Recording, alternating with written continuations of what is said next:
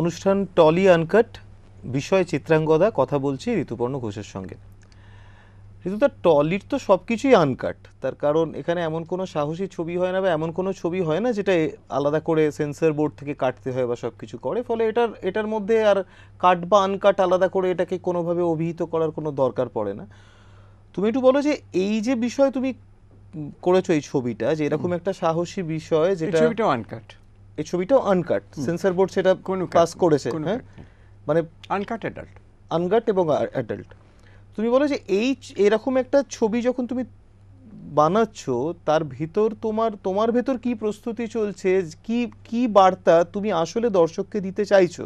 তোমার থেকে মানুষ উনিশে এপ্রিল পেয়েছে। সেখানে সাধারণ মানুষ প্রথম হলে গিয়ে মধ্যবিত্ত বাঙালি একটা পারিবারিক বিনোদন বলব না কিন্তু তাদের কাছে একটা আমি বলছি পারিবারিক একটা ছবি দেখতে যাওয়ার যে অভিজ্ঞতা সেটা কিন্তু তুমি আবার নতুন করে বাংলা সিনেমাকে সেই অভিজ্ঞতাটা দিয়েছ।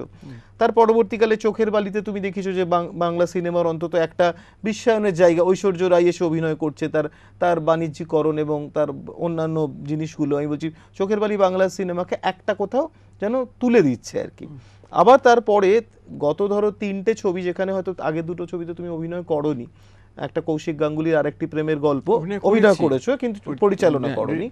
হ্যাঁ আর এবং সঞ্জয় নাগের তোমার মেমোরিজ ইন মার্চ তো সেই ছবিগুলোরও কোথায় তুমি কোথাও তুমি যে প্রোটাগনিস্টের ভূমিকা অভিনয় করছ সে একটা বিকল্প যৌনতার কথা বলছে এবং সোচ্চারে বলছে।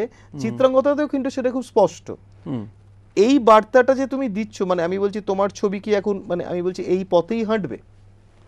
না না না সেটার কোনো মানেই নেই। মানে কি কি কি হয়েছে জানিস?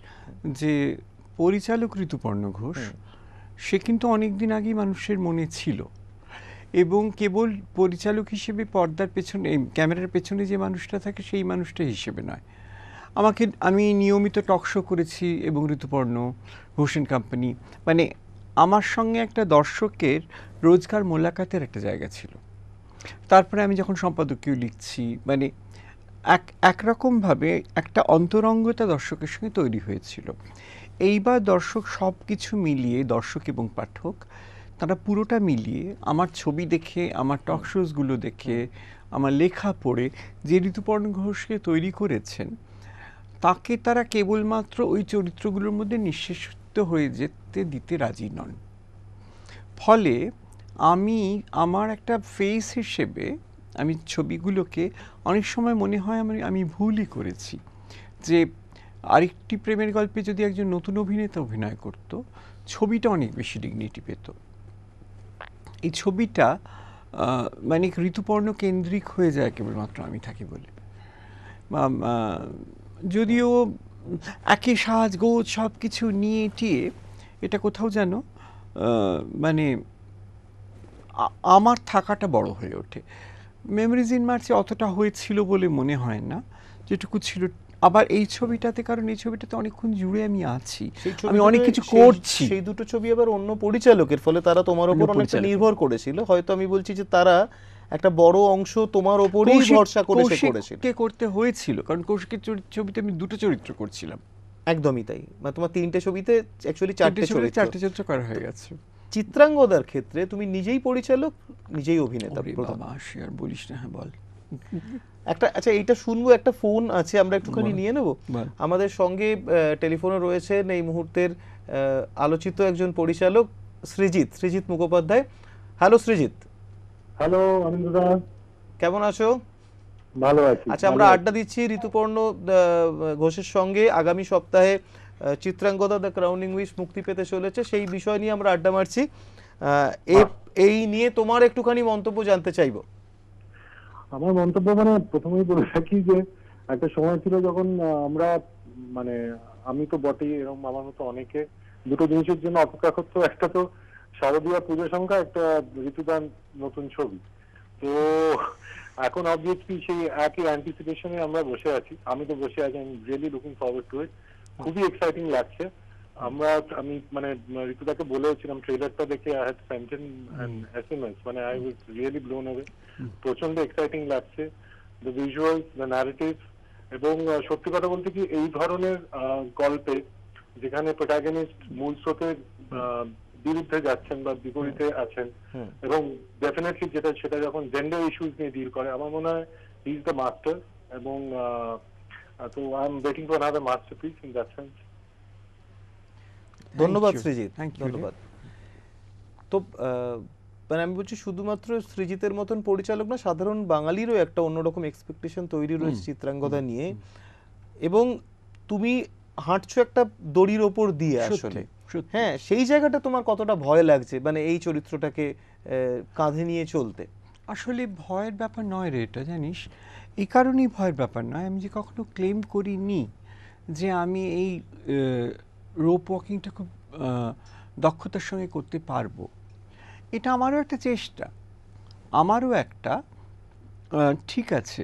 আমি আমার মতন করে দেখি এটা কোথায় এগিয়ে, এটা নিয়ে কোথায় আমি এগিয়ে যেতে পারি? বা এটা আমায় কত দূর এগিয়ে নিয়ে যে মানে এটা আমায় কত দূর এগিয়ে নিয়ে যেতে পারে? দুটো নিয়েই কিন্তু মানে আমি এর সঙ্গে হাঁটছি না, সে আমার সঙ্গে হাঁটছে, আমি জানি না। ফলে আমি কোনো, আমি ছবি করার প্রথম দিন থেকে কখনোই খুব দৃঢ় কনফিডেন্ট ফুটস্টেপস ব্যবহার করতে পারিনি। সব কিছুর বেলাতেই আমার মনে হয়েছে যে পারব। হবে আচ্ছা করা যাক। পারব হবে থেকেও আমি যেটা করব সেটা আমার মতো হবে? কিছু তো একটা হবে সেটা আমার মতো তো হবে। সেটা যদি লোকের ভালো লাগে ভালো লাগবে। যদি ভালো না লাগবে লাগবে না। না এরকম সব সময় লোকজন বলে যে ঋতুদার মতন করে কেউ অভিনয় দেখিয়ে দেয় না। মানে সেটা যত অভিনেতা অভিনেত্রী তোমার কাছে কাজ করেছে তারা সব সময় মুক্ত কণ্ঠে বলে। কিন্তু এখানে অভিনয়টা তোমাকেই করে মানে তোমাকেই করতে করতে তোমাকে আর হ্যাঁ। দেখানোর কেউ নেই। কিন্তু এখানে তোমার অভিনয় শুধু করতে হচ্ছে তাই না? এই ছবিতে আবার পাশাপাশি তোমাকে একই সঙ্গে অনেকগুলো নাচের দৃশ্য অংশ নিতে হয়েছে। যেটা হ্যাঁ। এই ছবিটার ক্ষেত্রে আমার ছবিটা না দেখিয়ে আমি বলছি মনে হয় খুব ইম্পর্টেন্ট কিছু কিছু জায়গা। তো এইটার জন্য তুমি কীভাবে নিজেকে প্রস্তুত করেছ? তুমি তুমি কার কাছে শিখেছো? বা কীভাবে তুমি শারীরিকভাবে তৈরি হয়েছো যে কারণ তোমার যে বয়স সে বয়সে কিন্তু আর নতুন করে দখলটা নেওয়া বেশ শক্ত অ্যাবসলিউটলি হ্যাঁ যে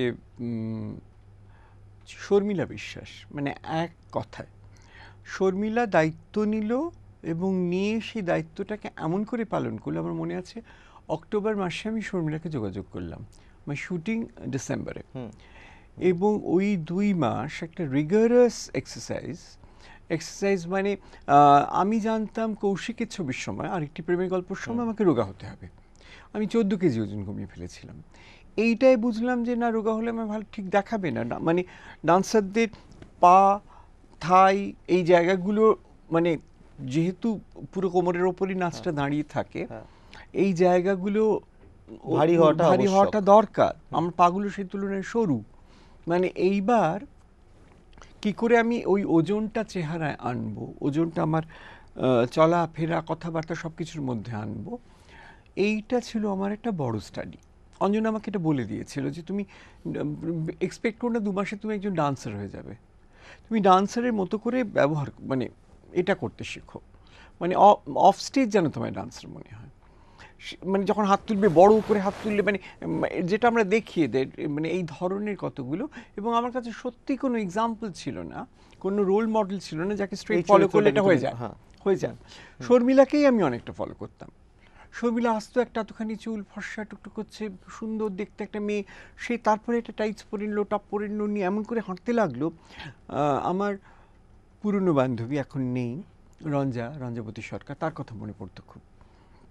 মানে নৃত্যশিল্পীদের এই গ্রেসটা না ছিল না রঞ্জার একেবারে আমি রঞ্জাকে বলতাম এরকম করে হাঁটিস কেন তুই? কিন্তু এই আসলে যে নৃত্যশিল্পী মানেই কমনীয় এটা একটা ভুল মিথ এই মিথটা আমার ভাঙলটা করতে গিয়ে। এবং দেখলাম যে তারা মানে মানে তাদের জীবনটাই অন্যরকম একটা। তুমি তুমি যেখান থেকে নাচটা করছ আজ শর্মিলা বিশ্বাস যখন তোমাকে ট্রেনিং দিচ্ছে মানে এটা জানতে ইচ্ছে করে আমার যে তুমি তুমি কতটা শর্মিলা বিশ্বাসের জেস্টার ফলো করছ নাকি তুমি কেলুচরণ মহাপাত্রর মতন হয়ে ওঠার চেষ্টা করছ? মানে কোনটা? আমি তো কেলিচরণ মহাপাত্রকে দেখিনি। শর্মিলা যেটা করল আমি শর্মিলাকেই রাদা মোর মানে আর একটু ক্লোজলি ফলো করতে চাই এই কারণে যে শর্মিলা কেলুচরণ মহাপাত্রটা জানে। ও ওটাকে আজকের নাগরিক মাত্রায় পরিবেশন করবার মতন করে সেই নাচটাকে ইউজ করতেও পারে। এটাই আমার দরকার ছিল। যে নৃত্যশিল্পীর বুদ্ধি ঐতিহ্যকে আধুনিক করতে পারে সেই নৃত্যশিল্পীকে আমার দরকার ছিল। সেই নৃত্যশিল্পী আমার মডেল ফলে নাচ বা দৃশ্যগুলো সবকট কারণ শর্মিলার কাছেও তো এটা নতুন। ও তো আগে রবীন্দ্রনাথের উপরে কোনো মানে মানে রবীন্দ্রনাথ কেন্দ্রিক কোনো আখ্যান নিয়ে কাজ করেনি। ও তো গীত গোবিন্দ করছে। হ্যাঁ এগুলো মানে এই করতে গিয়ে যেভাবে আমরা গুরুগুরুটাকে তৈরি করেছিলাম আমরা দুজনে বসে আমি একদম অভিজ্ঞান শকুন্তলমের মৃগয়া দৃশ্যটা কি করে মানে হতে পারে? মানে একজন রাজকুমারী শিকারে গেলে কীভাবে যাবেন? কতটা বৈভব, কতটা সমারোহ থাকবে তার সঙ্গে? এবং সেটাকে কোরিওগ্রাফির মধ্যে কি করে আনা যায়? একদম ছবি এঁকে ছবি দেখিয়ে যে এই ধরনের শিঙা এই ধরনের ভেরি এই ধরনের পুরো জিনিসটা এবং ওই সেট ডিজাইনিংটা এবং নাচের ওইটুকু দৃশ্য যেগুলো প্রমোতে আমরা দেখছি সেটা ভয়ঙ্কর আকর্ষণীয়। ওটা ওটা ছবিতে দেখার আগ্রহ হ্যাঁ সুশান্ত একই এগুলো তৈরি করছে। ও এবং তার মধ্যে আমি রোজ সকালবেলা প্র্যাকটিস করছি এসেই প্রি প্রোডাকশন মিটিং করছি কারণ আমি জানি আমি অভিনয় করব। তখন আমি এটা বলতে পারব না এটা কর ওখানে এটা লাগা। আমার যা যা করবার পুরো প্রি প্রোডাকশন নোটসগুলো অনেক কংক্রিট করে সঞ্জয় নাগের হাতে চলে যাচ্ছে। কারণ ও ছবিতে অ্যাসোসিয়েট ডিরেক্টর আরেকজন যে জয়েন করবে আমার ফ্লোরে সেটা অভিক। এই দুজনের হাতে কিন্তু ছবিটা আমি ছেড়ে দিয়েছি। দেবার জন্য আমাকে আমার নিজের ছবি আমি যখন শুধু ডিরেক্ট করি অভিনয় করতে হয় না আমি যেভাবে আমার প্রি প্রোডাকশন করি এর থেকে তারও অনেক ডিটেল করতে হচ্ছে। হ্যাঁ হ্যাঁ। কারণ সবকটা ডিরেক্টোরিয়াল ভাবনা আগে ভেবে নিয়ে বসিয়ে নিতে হচ্ছে। অনেক কিছু তো আমরা ফ্লোরে করি আগে অতটা তুমি এই ছবিটার ক্ষেত্রে অবকাশ চেষ্টা করছি না তুমি।